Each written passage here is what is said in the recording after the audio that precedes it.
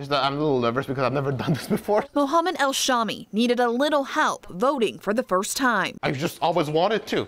Ever since I got my citizenship, I was like, I have everything I want to do, I want to vote. Mohamad has been an American citizen for a month and a half, and within minutes, Yay! did his civic duty.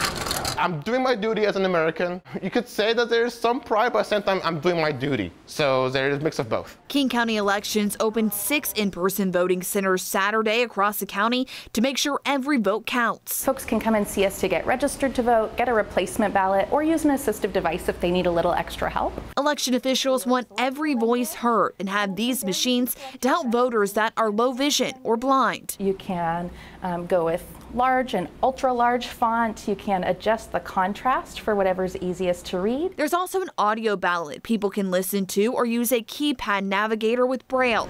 But election officials say so far, voter turnout is a little slow. We are sitting at about 18 or 19 percent as of today. We have projected 45 percent turnout for this election. Um, so if we are going to get there, we're going to have a very, very busy Monday and Tuesday, it looks like. When it comes to confidence in Washington's all mail voting system, a poll commissioned this month by King 5, the Seattle Times, the University of Washington Center for an Informed Public, and Washington State University's Murrow College of Communication, conducted by Survey USA, shows a majority of people trusted the system.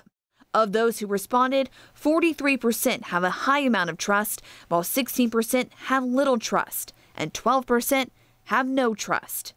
Election leaders believe these in person voting centers can help boost confidence. Anytime we can see each other in person, just helps remember that it's your friends and neighbors and community who are running our elections. Thank you, sir.